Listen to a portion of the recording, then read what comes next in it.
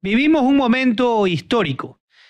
La declaratoria de muerte cruzada por parte del presidente es algo inédito, se ha usado por primera vez en la historia, contemplada obviamente e incorporada en nuestra constitución en el 2008 en esta Carta Magna elaborada en Montecristi. Ciertamente el juicio político era una herramienta constitucional, al igual que lo es esta decisión del presidente de mandar a su casa a los asambleístas porque no podía tener gobernabilidad, porque no podía avanzar con sus propuestas y obviamente entra dentro de un momento criticable, porque estaba enfrentando un juicio político que lo señalaba con acusaciones serias que probablemente hubieran, debieron haber sido desvirtuadas en un canal normal. El presidente probablemente no confió en que los asambleístas iban a actuar con objetividad y decidió terminar esta incertidumbre y llamar a un proceso que nos obliga a regresar a las urnas en los próximos meses.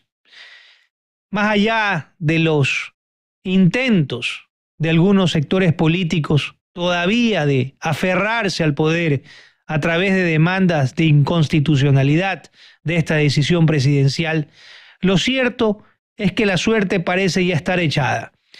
Y la eh, presidenta del Consejo Nacional Electoral ha anunciado que llamará elecciones el próximo 24 de mayo.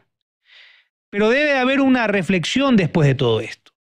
Debe haber una, un aprendizaje, debe de existir un, análisis de por qué hemos llegado a esta situación. No es algo normal que una democracia se rompa, que una democracia termine y que los asambleístas que representan al pueblo terminen despachados a su casa con un nivel de aceptación del 9% y que probablemente después del juicio político hubiera terminado mucho más bajo. Debemos de entender de que esta función del Estado debe de trabajar en conjunto con el Ejecutivo para crear políticas que sirvan y leyes que sirvan a los ciudadanos, a la reactivación económica, a la seguridad y obviamente a que no haya abuso en su fase de fiscalización de los fondos públicos.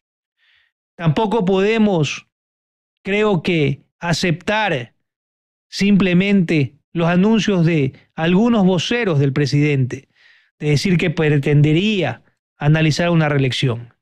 Creo que habría muy poco aprendizaje por parte de él, de todos sus errores y de la situación particular que vive el país, de una violencia extrema, de una inseguridad que se refleja en atentados contra alcaldes electos, intentos de asesinato y obviamente desgracias y malas noticias todos los días. El Ecuador debe entrar en una fase de reflexión profunda. Nuestras próximas autoridades deberían ser completamente distintas a las que hemos escogido para este periodo. Deben de ser políticos honestos y competentes, que puedan gestionar con rapidez las necesidades que tiene la población, que puedan hacerlo con eficiencia y que puedan construir puentes y no reventar todo tipo de alianza y todo tipo de gobernabilidad. Vamos a pasar momentos complejos en los cuales por primera vez tendremos a un presidente gobernando por decreto. Habrá que estar muy atentos para que esos decretos no afecten a los ciudadanos y obviamente también que los recursos públicos no se utilicen, ni las herramientas, ni el Estado, para buscar una reelección de alguien que no ha logrado gobernar con eficiencia ni con resultados.